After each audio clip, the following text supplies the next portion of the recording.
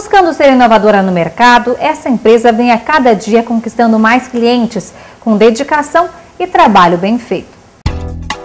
Ela começou organizando grupos de excursão para vários pontos turísticos do Brasil.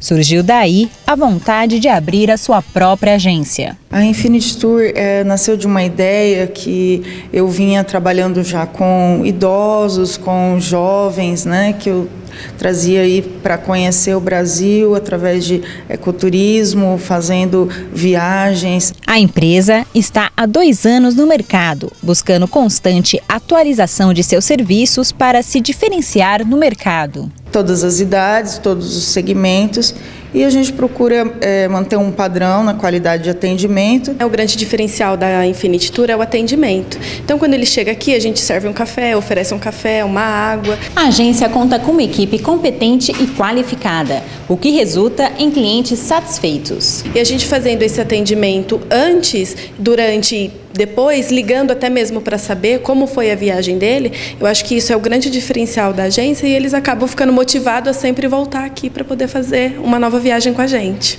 Atenção total ao cliente, com assistência personalizada antes e durante a viagem.